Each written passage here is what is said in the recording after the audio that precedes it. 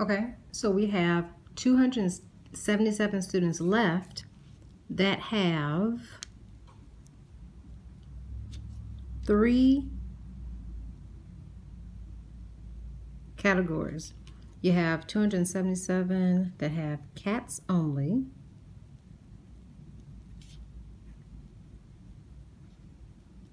Dogs only. Plus both cats and dogs. And all three of those are going to add up to 277. So in order to find out each of these three numbers, I'm going to first subtract. I'm going to use, to find out cats only, I'm going to do 277 minus the 193 for dogs that the problem originally gave me. So I'm going to do 277 minus 193. That's what they said, dogs. And the 7 minus 3 is 4. Um, $7, you want 9. I can't do that, so I'm going next door to the 2 and borrow 1. That becomes a number 1. Put the 1 in front of the 7, so 17 minus 9 is 8.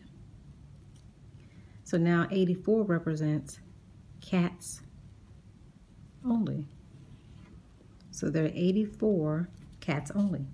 To find out how many dogs only, I'm going to take the 277 and I'm going to subtract the 160 that they said had cats because this number not only contains the ones that had cats only, but the ones that had dogs only as well. So I'm trying to separate the two numbers.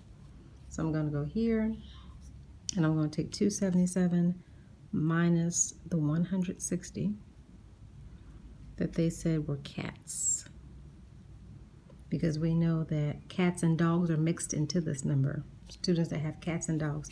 7 minus 0 is 7. 7 minus 6 is 1. 2 minus 1 is 1. So 117 represent dogs only.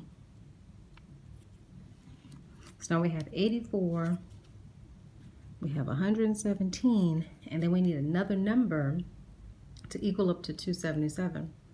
84 plus 117, cats, dogs plus both is equal to 277. So I'm going to do, um, how much is 117 plus 84? 7, 8, 9, 10, 11.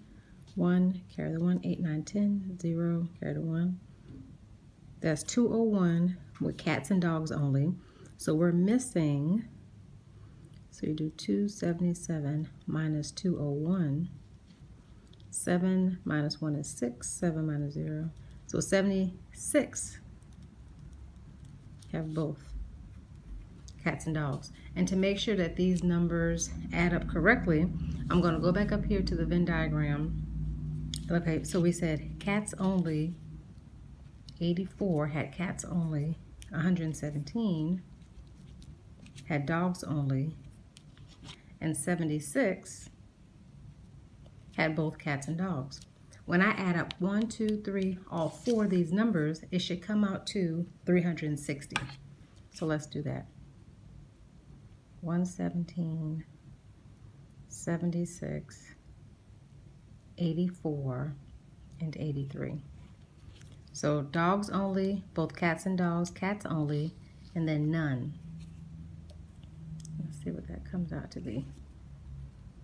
Should come out to be 360. So 6 plus 7 is 13, 14, 15, 16, 17, 18, 19, 20. You put a 0, carry the plus 2. That's 3 plus 7, which is 10, 18, 19, 20, 1, 2, 2, 3, 4, 5, 26. You put a 6, carry the 2. So that's 360 total students. So let's go back to the question because there's lots of numbers here, but we can only answer the question. How many students have both a dog and a cat? So of all of these numbers, we only need the middle of the Venn diagram that has both, which is 76 students have both a dog and a cat. And that's it.